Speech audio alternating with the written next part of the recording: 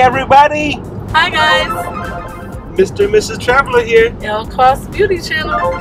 coming to you with everybody's favorite Hot Topic Thursday. Yes, it's really hot today. Caliente. Caliente. Muy caliente, yeah. okay, guys, We let's. gotta laugh because we're so tired from moving that we just laughing and joking, making making it making a light of it. You're watching this video, we'll be getting ready to get on the plane and head out for a weekend cruise because we need a break. We already had it planned uh, prior to us knowing we were going to Florida. Yes, on me. Miss Traveler treated me. Yes. So it's right on time. Give us a break for a weekend, and I'm looking forward to We it. We need it. Anyway, guys, let's jump to it. Uh, the Yeah. first, the first one, we actually did a video on this before, but two people asked the same question. I figured we'd touch and talk about it real quick. And of course, I never see the questions before they're read. So I like to be surprised, just like you. All right, here we go. We have Rodney Brown, Hi, Rodney. who says, "Have you ever taken the onboard ship tour? Is it worth the money?" And on a similar note, Helen. Hi, Hi, Helen. Helen. Hi guys, another awesome video. I know you two are extremely busy. We appreciate the time you took for this. I was curious, have you ever done a kitchen or bridge tour on any of the cruise ships that you've been on? If so, what are your thoughts? Did you like the tour? Does it cost extra? Have a fantastic day. Thank you. You too. So Rodney and Helen, Thank you for your questions, Rodney and Helen. We appreciate it. yes, we have a video on this subject already. Uh, the behind the behind the fun tour that we did on Carnival. But uh, I know that Royal Caribbean and I know that Carnival both do the behind the fun tours. I don't know. They're not. Royal Caribbean doesn't call it behind the fun, but it's a behind the scenes tour. It's behind the scenes on Royal and then it's behind the fun on Carnival. Yeah. And I'm sure the other lines do it too. I'm just not 100% sure. Uh, but anyway, was it worth it? Absolutely. A plus, number one excursion to do on a boat, Yeah, I highly recommend it. But you have to, on the ship.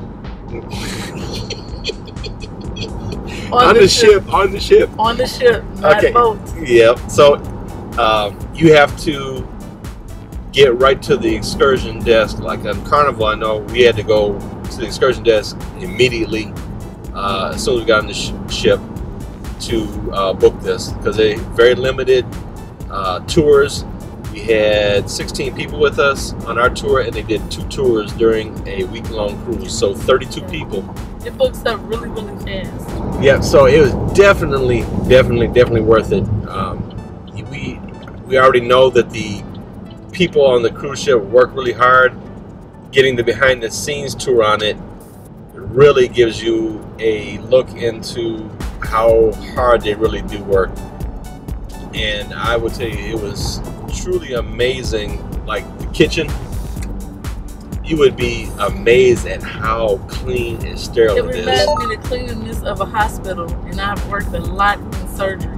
It, it reminds me of that. That's how clean it was back there. Yeah, it's super clean. It's it's immaculate. Yeah, super organized. Very, very organized, Yeah. smooth. Staff was fun. They made us feel welcome. It was great. Probably my favorite part of it was going to see. The captain. Yep, going going up to see the captain, see the see bridge. bridge. That was the best. Uh, Yes, it was. Seeing the view from up there, and we got a chance to one on one ask the captain any questions that we had, and I asked him a ton of questions because Yes. nobody else would Everybody else me was too shy. Yeah, we saw the bridge, we saw the kitchen, we saw some of the special dining rooms behind the scenes. Yes. We saw the uh, theater and the entertainment area behind the scenes, and we got to see the The sleeping quarters. kind of like where the the break room. hangs out, the break room, yeah, Mhm. the uh, storage rooms where they keep your luggage and all that stuff.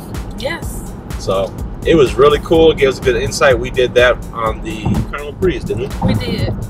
It was wonderful. I really enjoyed it, and I rec- highly recommend it. If you if you have time to go straight to the desk and book it, you should. But it fills up so fast. It's like hit or miss. Yep. Get to it and do it.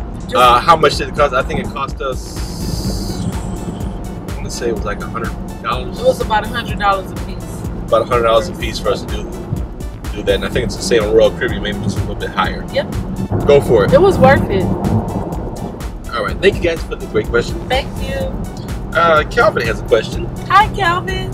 Hello. Hi. How important is it to establish status with one cruise line? My wife and I are on uh, one cruise shy of gold with Carnival. After watching some of your videos, we want to start trying other cruise lines. Okay. Uh, we have also done a video on this called Loyalty Matters. Yes, I'm gonna put it right here. You can just click right here and you can watch it. Or the card. Yes. Yes. Um, I, I think it, it, that's a hard question. That's a hard question to answer.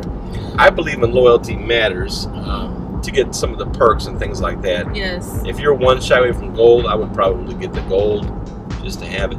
If you that interested in the point system and you want to save on your cruises, I would recommend just cruising the same line like Royal Caribbean and Carnival over and over again so you can get discounts. But if you go back and forth like we did, it's kind of hard to do it because we like to travel each line. So if you stick to Carnival or Royal Caribbean, when you say it'll be easier.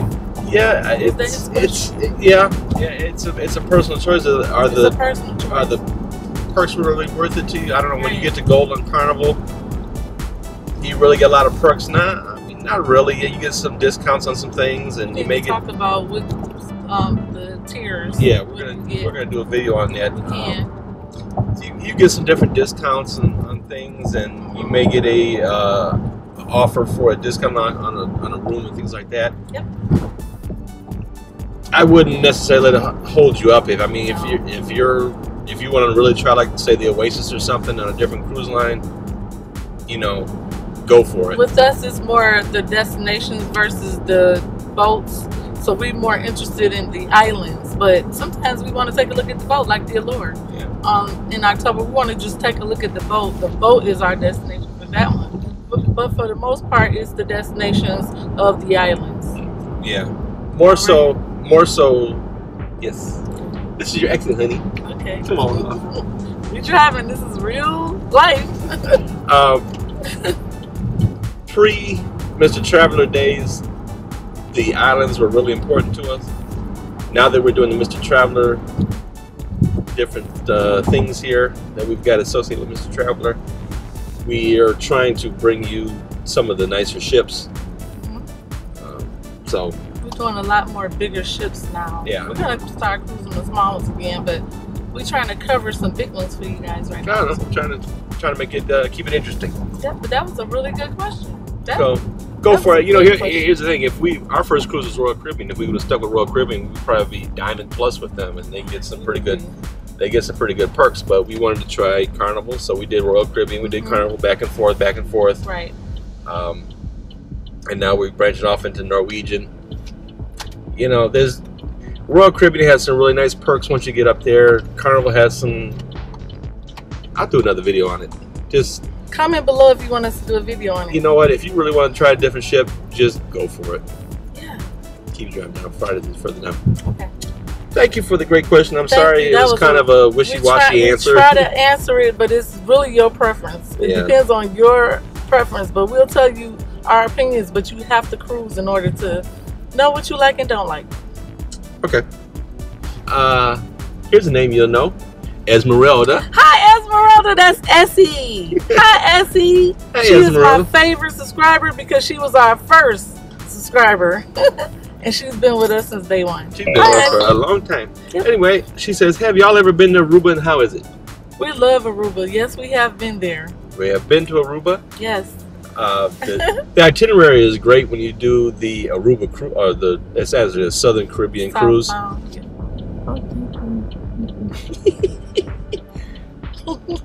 I'm used to Mr. Traveler driving. Anyway, um, the Southern Caribbean cruises are, are really nice because it usually goes. Uh, you can either get on it from uh, Puerto Rico, you can get on it from Miami, and I believe from Fort Lauderdale as well.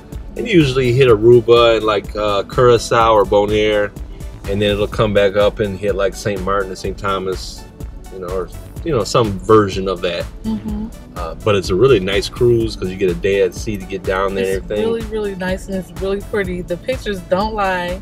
Mhm. If you want to take a look at the pictures online, you can Google it. It looks just like that in real life.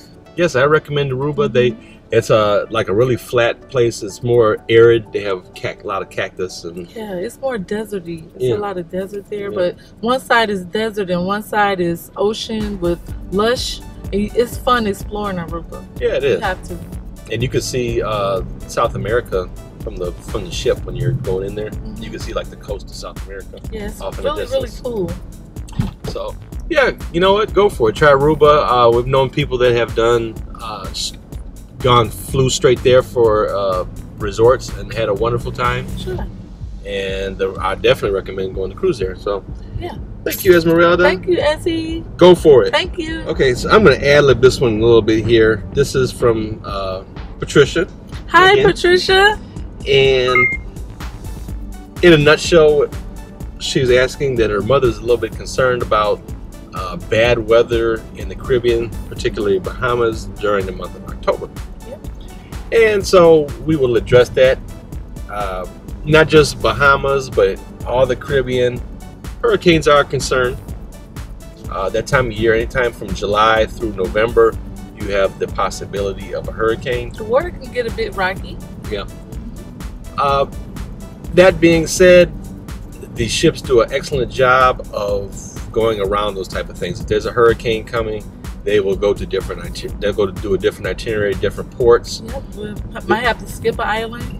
and worst case scenario, they may even cancel the cruise if there's no way around it. Like the, if it's dead set on hitting Miami, say, for instance, they'll cancel those cruises coming out will of be Miami. canceled. Yep. The the captains are really, really experts in that field. Yeah, so you can go around worrying about a lot of things every day of your life. Uh, Sure. Plenty to worry about. Yeah. The chances of the hurricane, I you know, I don't know. We can go online and look up some some statistics for you. I don't know, but I, I wouldn't worry about it. Keep your eye on the weather forecast, just like the cruise lines do. They will advise you if they have to cancel. Uh, they will advise you if they have to change the itinerary. When I trust you, you'll still have a great time. Don't worry about it. We have been on a bunch of in October. We've been on a bunch. Most of our cruises have been July, August, September, October. Yes. A lot of We them. Take it in the winter. That's in, in the summer. I mean, in the summer. Right. We usually take the cruise in the summer. We take our most of our cruises during hurricane season. Guess how Yes, many we hurricane out of 24 cruises? 24, How many- 25. How many cruise? How many times have we been involved with a hurricane on a cruise out of 25 cruises? And probably 20 of them have been during hurricane season.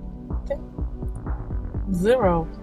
We were in a hurricane once in Florida at a land We land were tour. we were on, we were in Florida. Hurricane we were Faye. we were not on a boat. Right. Yes, we were we went to Orlando. Yep. We still went. But on uh, on the cruise, we have had zero We hurricanes. have never been in a hurricane on a cruise because the captains are experts at avoiding the the the weather. Sometimes they can't avoid it, but they are really good at avoiding. it. As discussed before, we've been in some dicey weather, but Don't let the fear keep you back. Don't let it keep you from cruising and traveling because you would be scared all the time if that was the case. yeah, cruise on, cruise on. Well, guys, uh, if I can help you book a land or a cruise tour or whatever you would like to do, I've had that comment quite a bit. Uh, Yeah. can I do? The traveler's address will be right. Oh, you know what? Someone did ask a question. While I'm on the subject of travel agent, and I'm www.mr-traveler.com, Yes. Carolyn Talley asked, Hi, Carolyn. "Hi, Carolyn." How are you? Uh, she wants to know what's the job of a travel agent. Is there a fee associated with it? Is there including the vacation fee? Uh, what can the agent do that I can't do for myself? Those those kind of those kind of questions. Okay, so Okay. I used to really be a big do-it-yourself proponent until Yeah. I got involved with this. The more I helped you guys, the more I learned. And then when I actually got involved with the travel agent business, there are deals and things that, as a travel agent, we can get to that you can't get to on your own. And I will tell you that. Yes, you won't have All right. access to it. I wish I would have made this move a long time ago, Mm-hmm. but I wanted to make sure I was with the right company. Yes. So, uh, are there fees associated with it? Uh, you know, we're obviously commission commission based travel agents. Mm-hmm. I do not charge any fees with mine. No, he he actually gives his away. I don't know why. he do that. I, I there was yes, there's a there's a the there's yes. a service fee, do but I waive it. I don't believe do in not charging it. charge it. We really do this to help people. A lot of people don't know that about us. Yep.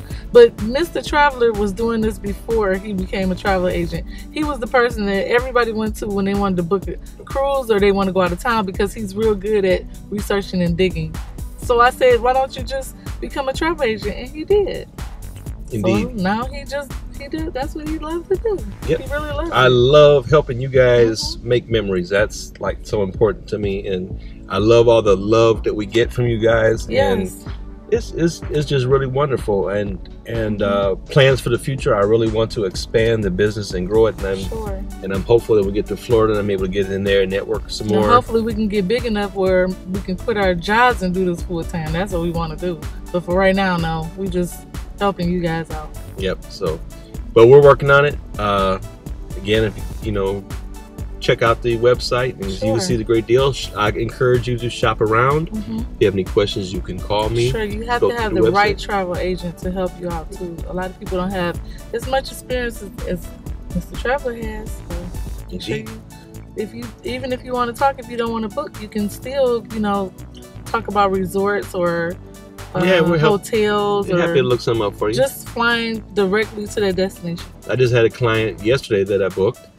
Uh, you know who you are. Hello. She's a regular watcher. Oh, good. And um, when I gave her the price, she said, Your price was exactly what Carnival charged, exactly to the penny, Mhm. except for I had an onboard credit on there. So uh, that kind of just kind of goes to show you. That's great. Now he was off, he was able to offer an onboard credit versus just booking through Carnival.